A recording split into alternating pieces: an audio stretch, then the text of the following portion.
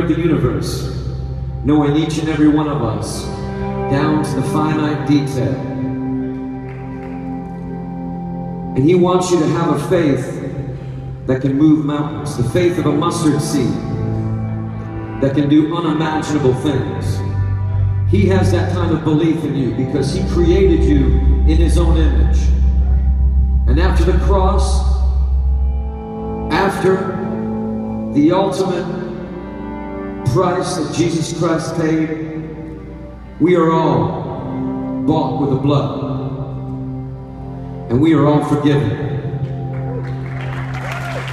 It feels good to be forgiven, right? This is called Believer.